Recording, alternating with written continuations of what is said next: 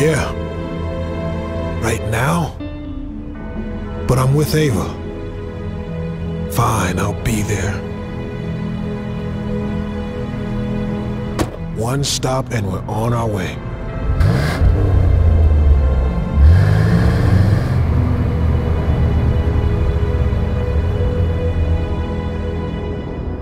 Be right back. Thought the deputy mayor wasn't supposed to be here until tomorrow. Cesar says we do it now.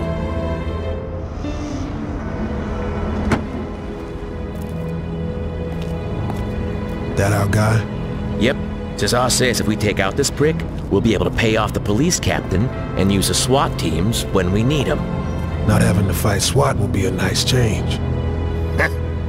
For you, maybe. Rudy, cover the back entrance. What's going on here? Deputy Mayor's making a speech, really cracking down on the cartels. You'll have to move your car. My boyfriend has the keys. You better find him, or we'll tow it.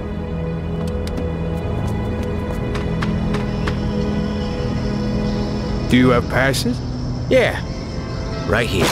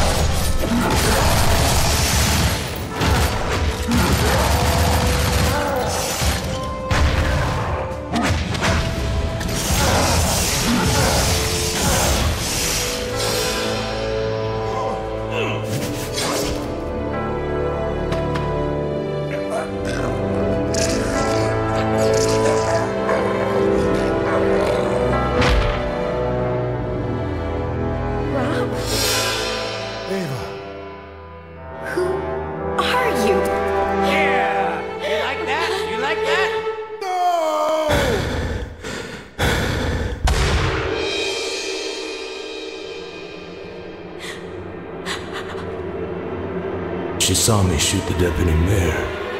The witnesses, remember?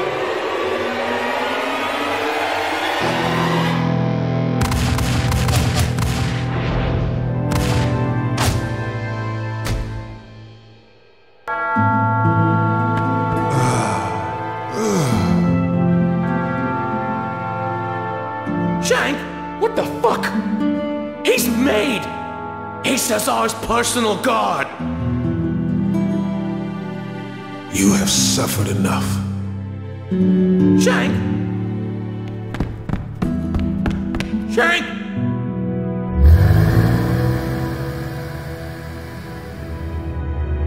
Follow him to find the girl. Then kill both of them.